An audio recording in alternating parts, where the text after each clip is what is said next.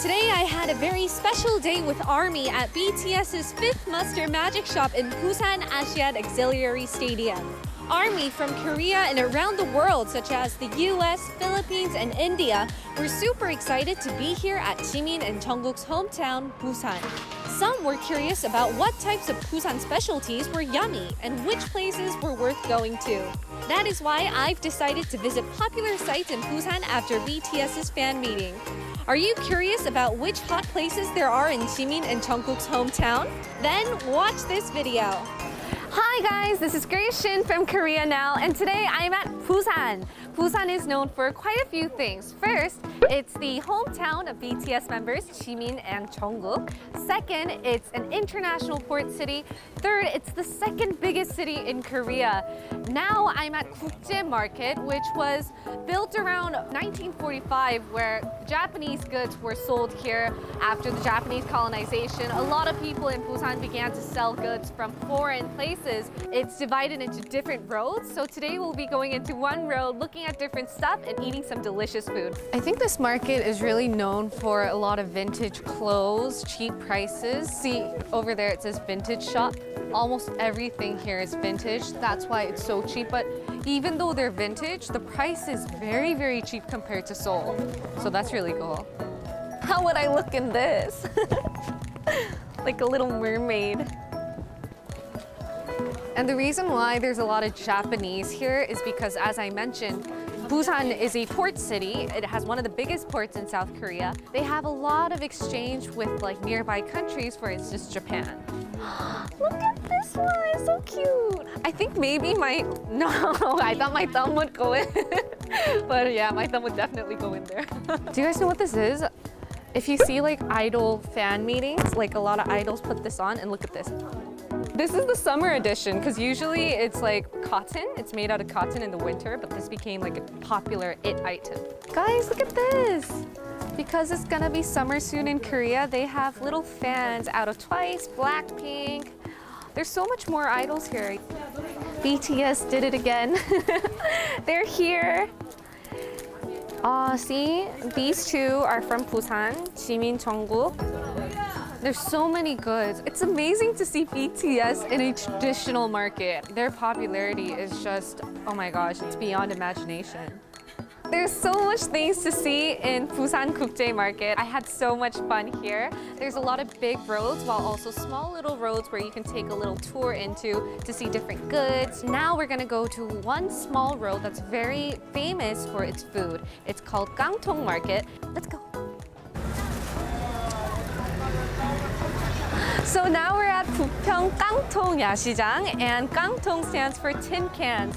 The history behind this market is that long time back, Koreans used to sell foreign goods within cans, like canned goods, and they were really popular.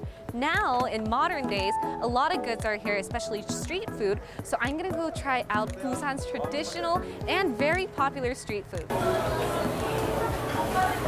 And these are called glass noodles. Doesn't it look so nice?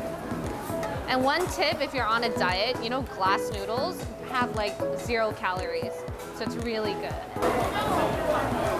It tastes really good. It's a bit spicy, but usually glass noodles don't have a taste, so the sauce is really amazing. This is one of Busan's like very special dishes. If you come to Busan, you need to try this out. It's wheat noodles good, especially during the summer because you eat it. It's cold wheat noodles. Usually when we eat cold noodles in Korea, they give you radish together because it just like hypes up the coldness. Oh, it's so long. Mm. It was a really hot day today, but this just pushes it all down. It's so refreshing. Oh, doesn't it look so nice? Oh, it's a really big bite. I already had like 10 chews, but it's not going down, it's that chewy. Next, it's fried tofu. Looks really interesting, right? It's like a little bag. This is fried tofu. Mmm. And once again, there's glass noodles that are marinated inside. It's just really tasty. I recommend it. Oh, so many people are eating outside, and I think this is one of the merits of eating street food.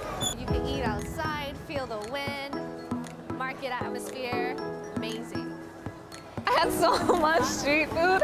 That's why I'm saying you can literally, there, of course there's so many great restaurants in Busan, but the street food here is so nice. You can eat outside, you can eat inside. There's so many various menus, so just have a whole day here. Wow, much. And over there, I think there's some like US snacks as well. It's like a variation of Japanese snacks, just foreign snacks from all over the world.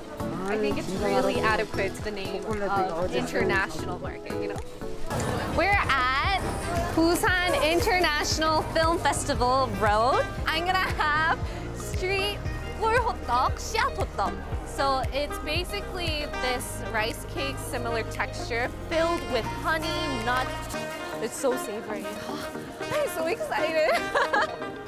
so you can see that they're making it one by one really quickly. They're taking it out, wrapping it, rolling it together, putting it during the winter when it's cold. So they put it in a little cup for you. And it's special because in Busan they put nuts now. Everything original tastes best. So Busan seed hotteok, mm, so good. Oh my gosh, I had so much today at Kkangtong Market. So after having so much food and so much street food, I decided to digest my stomach by coming to one of my favorite and most popular Busan sites, Gamcheon Cultural Village.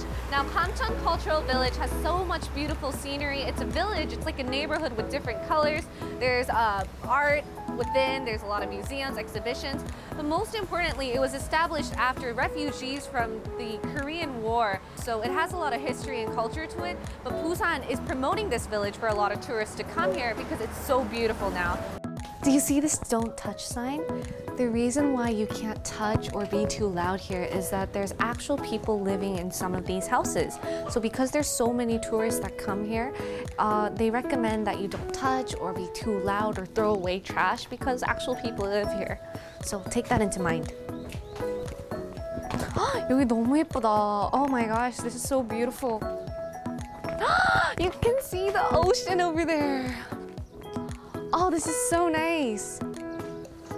There's one prominent photo zone and it's where the Little Prince is at. And you can sit down with the Little Prince and look at the whole scenery from like the high mountain up down all the way to the sea.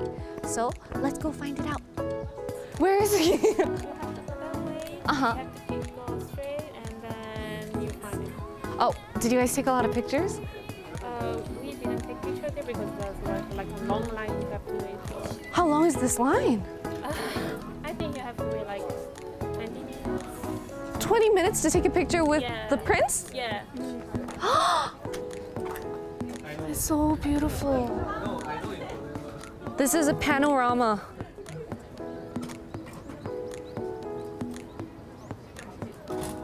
Really beautiful. I enjoy the scenery here, and I guess uh, it's uh, more condensed like Seoul. The, the market uh, we were to the Ku- Kukyek market. 국제 market, we were there too. yeah, and it was very great. Uh, I would recommend uh, coming here uh, rather than Seoul, I guess. What's really amazing is that there's so many houses in this village and it's like a maze. It's so much fun to go around different little roads, go take a detour, and then all of a sudden you're, you're on top of some roof and then looking down at the scenery where you can see the ocean, the mountains, other colorful houses. But you know what? As much as it's a maze, I still didn't find Little Prince.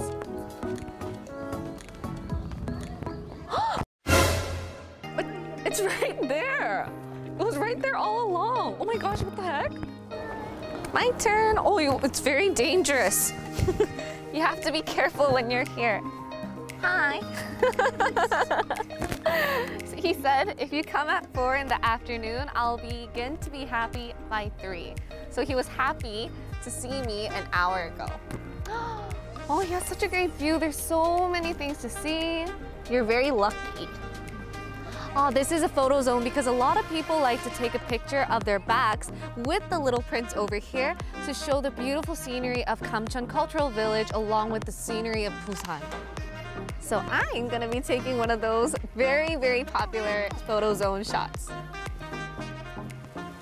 Oh, the sun is steadily setting. You can see that the village is as beautiful as ever. I just wish I had more time in this village, but as you all know, I have so many more things to introduce you to in Busan. But if you have the time to come to Busan, please, please, please come to Gamcheon Cultural Village. Now I'll be going to one of Busan's most famous beaches. If you're curious, watch till the end.